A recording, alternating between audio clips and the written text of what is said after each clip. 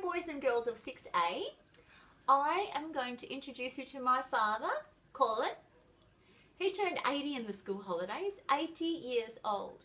And I was looking at our unit of work that Miss Doody sent me, and it's all about a book called My Place that covers 200 years of a house and the families that live in the house and how much things change. And, you know, I know you all know what history is, um, but I know also that you guys are pretty reliant on technology and things have changed very much since the days that Dad was born. So I want him to tell you a little bit about what life was like for him when he was a kid. So, Father dear, what year were you born?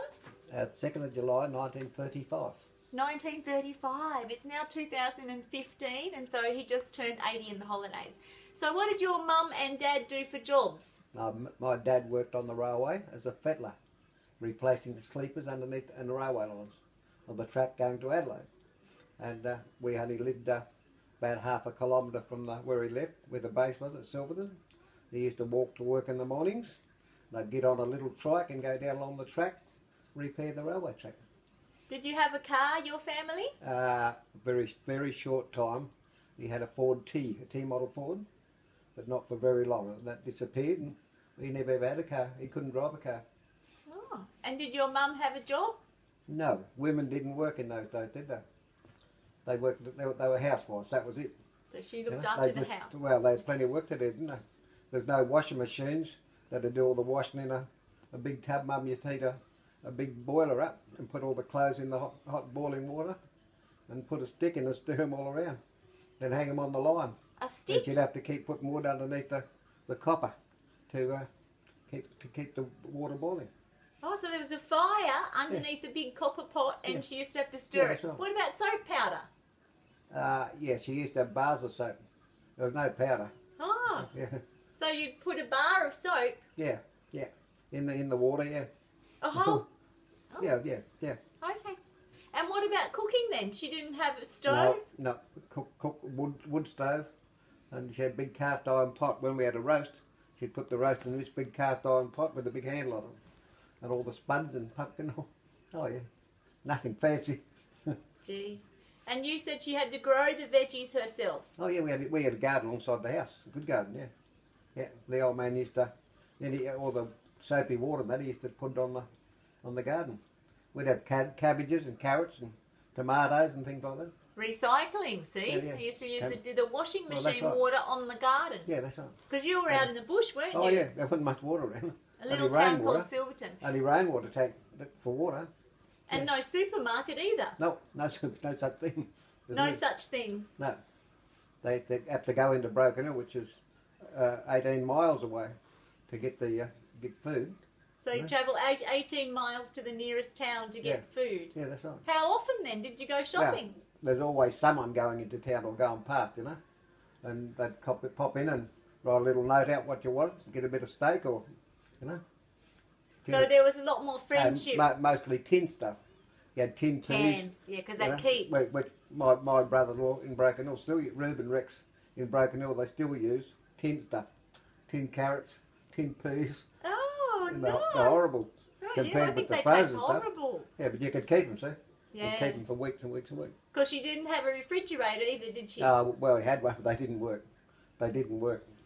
And water, they, we used to have a cooler. And, uh, What's a cooler? well, None, we all, don't know. All, all around the sides was just sort of hessian. And on, on, on top was the sort of a little tank with holes in it. And the water would drip down along the side of those, the hessian. A little breeze goes through it, keep, keep Oh. it reasonably cool. So you would put things inside a wet cupboard Yes, kind of yeah, thing. that's right, A that's wet exactly right. cupboard to keep your food. Yeah, Ew. yeah, that's right. So what about milk? Did you have a cow? We had a cow. Oh my god, you had a cow! We we had a beautiful white cow called Snowball. Oh, Dad, that's beautiful. Anyway, Snowball would come home every night for a feed of chaff, and Mum, uh, Dad would milk her. Then Come Mum, home? Mum would boil the milk up and get the cream off the top of the milk. So did she make her own butter as well? No, I don't remember making butter, no. But she, we used to have cream off the top of the milk. When you boil it up on the stove to sterilise it, there's cream, get a skim, skim of cream on the top. Oh boy, And oh we had boy. quandong, we had a quandong tree, They're yucky little things. They're beautiful, yeah. Fong dong They're pies. beautiful. Okay, what about the mailman? Did the mailman come to the house? No, no. So how did you get your letters from other people? Yeah, you had to go to the post office to get your own mail and walk out, walk down and walk back. Oh, And that's where you rang up. If you wanted to ring up Broken Hill, you had to ring up from the post office. And the Oh, red box okay. out the front. oh yeah. So there weren't telephones in everyone's house, Oh no, no, no. except maybe rich people. Well, we, we didn't get we didn't get the telephone until about 1963. 1963 is when you got the telephone. And we got okay. married. And I got your mother, your mother and I got married. So no television. No, not everyone had the telephone. So. and no television either. that Hey. in Broken Hill. Oh no, no, we, we had a, we had a wireless, and they had batteries, dry batteries. So wireless is your name for radio, isn't it? Yeah, yeah. See, so kids, even some Wireless. things are called different Yeah. names. He Yeah. calls it a wireless. We call it a radio. Um, what else was I going to ask? Uh, What about? I know you told me. I thought that was a hilarious story that your your mum used to let the geckos come in the house to eat Yeah. the flies because there was no fly spray. Yeah, that's right. Well, it wasn't a real flash house. Our, our house was built in 1898 or something. The one at Silverton. 1898. The book in the story Yeah, was when the, the the, house when the mining when the mining boom was on. So it wasn't real flash. And uh, the geckos would come in and they'd, they'd crawl around the ceiling Sam, feel free to change the camera angle. Yeah. and they'd eat the flies. Very, we used to all sit there looking up at them like that. Yeah, that's a bit of entertainment. they if you've got take no TV, you can watch the down. geckos catching the flies Yeah, on the the roof. down.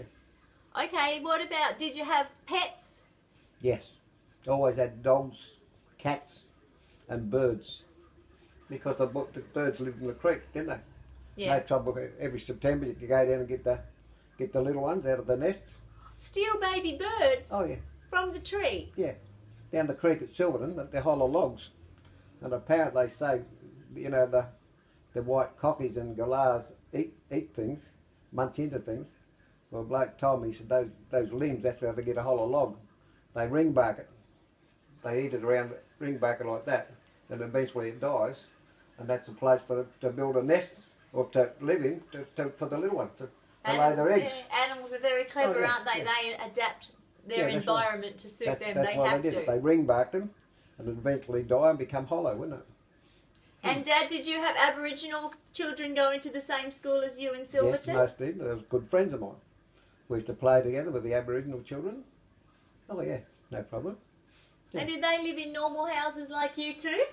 Yes, yeah, Yeah. a little bit more primitive, but uh, you know. But most of their husbands worked on the cattle stations. They had to work up in the bush on the cattle stations, and the Um, ladies and the the children would live in Silverton and go to school there. Yeah, that was okay. We had no trouble.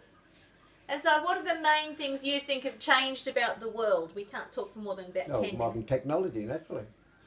Yeah. Yeah. Kids have Who, got who, who would have, computers. who would have thought 80 years ago, you know, that you've got to be sitting up in the lounge room watching watching the tennis over in England, you know? Yeah, that's it's opened up. The, it's made the Oh, yeah. world a smaller place, hasn't it? No. They'd reckon you was mad, you know, if you, you told them things like that. But there was a comics for the kids, and uh, one there bloke they, they used to call this bloke Buck Rogers, and he used to he reckoned he used to go up into the sky in rockets and all sort of things, didn't he? Yeah. So it was And then everyone imagination. laughed, you know.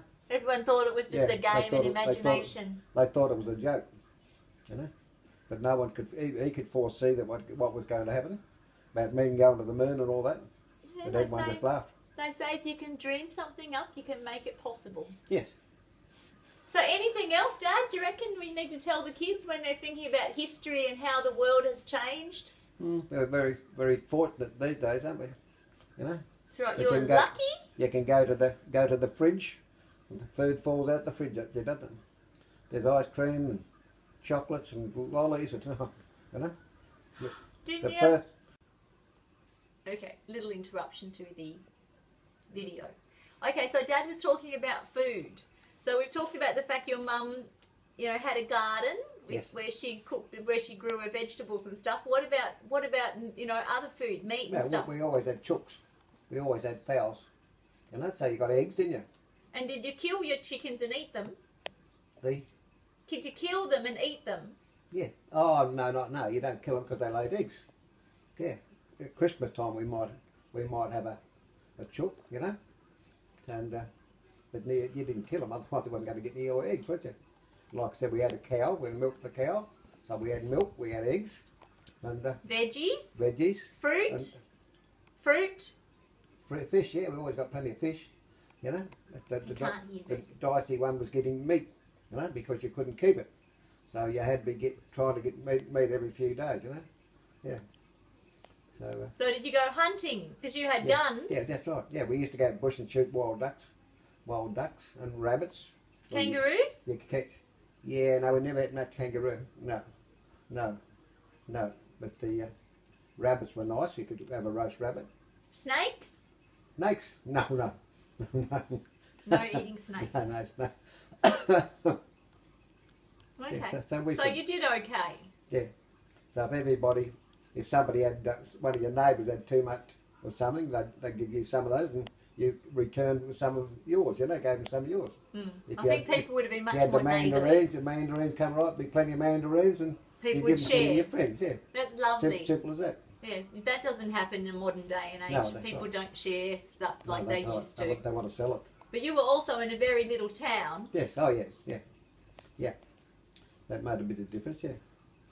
Okay, so no car, no phone, no TV, grow your own food, no oven. You you had you had gas or kerosene for the oven. Kerosene. Yeah, for the oven. No, no, no. No, just a Fire. a wood fire. A wood, a A wood, fire. Yeah, yeah. A wood fire. Yeah. Oh, what about school? Was school good? The school. Yeah, was school good? Did you enjoy going to school? Did you Oh, walk? oh, yeah, you had to walk to school. Yeah, that's right. Wasn't far, just over the row along. Probably about 500 metres, that's all. The school, yeah. Yeah. And some kids had bicycles. Mm, not many. Not many, no. Few. So Yeah. most people walked to Walk, school. Or some came on horses. Some rode horses. that is so cool. Yeah, because their fathers had properties very close to, to the school, you know. Yeah. I reckon, do you reckon we've covered it? I reckon that's pretty good. Yeah. And what about haircuts? Did your mum cut your hair? Yes. Put the basin over your head and cut up, cut up to the edge of the basin. Wow, so that's true. Oh, no. That's right. Yeah, everyone Okay. had everyone had hand clippers, and uh, when I got when I was about fourteen or fifteen, I used to do all the kids the kids that come to my place, our place, and I used to cut their hair. I didn't know that. You never cut our Oh. hair. no, Ah, one, one little it's German, baffling and it's mind-boggling how much the world has changed. one German one German kid used to come over and he said, "I want I want that crew cut." I said, "You better ask your mother first. he said, "No, it'd be okay." Yeah. And did you remember the war, Dad? Because when you were a little yeah. boy, the war happened. The Second World War. Yeah. Yes, I remember. Yeah. I was. I was So did it change we your were, life? We were, we were. Everyone was frightened that the Japs were going to come to Australia. The Japanese. Yeah. So there was lots of fear, but there was nothing. It didn't change your life, no, or did? no, no. Well, only when my brother got killed. But uh, And how many? Your three of your brothers went to war, didn't they? Alan and Tiny and Raymond. No, not Tiny. Alan, Alan and Ray. Alan and Ti- Tiny so, didn't go. No. so two brothers went to war, and only one brother came home. One was killed. Yeah, that's right. That would have made. No, well, I think I think things were a lot scarcer when the war was on. Food was a lot scarcer. Yeah, because they used to send it to the soldiers, didn't they? A lot of the soldiers were the workforce. The women, I think, a lot of the women worked worked in the uh, the uh, munition factory in Broken Hill, making making bullets and things like that. I didn't know there was. Oh yeah, yeah. Oh, so they made The ammunition in Broken it- Hill in my little They call it the technical college. Yeah. out in the They bush. worked there. They worked there, making all stuff for the war, working on lathes and all sorts of things, making stuff. Oh yeah. Okay, so yeah, so okay, Dad, you you would hardly. Oh, Didn't- I, don't know how to put it into a sentence. What you have seen over eighty years, from when you were a little boy to how you're living now, Oh yeah, that's just incredible. it's just Incredible. incredible. Yeah. so I wonder, do you think the world can change that much in another hundred years? God knows what's going to happen. Yeah. Oh, Yeah. I read something it's got to once, and stop it, eventually, doesn't it? I read something once, and it said today teachers are teaching children for a future we don't even know what it's going to be. Yeah, we don't even know what jobs will exist. There might be completely new jobs because certainly lots of the old jobs, like labouring jobs, like Dad worked underground in the mines, a lot of those jobs now are being done by machines. They, So might, they might have robot school teachers. that's right. By the time you guys, you know, have grow up and have your own kids, there might be robots standing in front of the class doing Google lessons. with a, with a computer on their head. okay, thank you very much, Dad, for talking to the class. Yes. Say hello, goodbye to 6A. Hi. Thanks, Dad.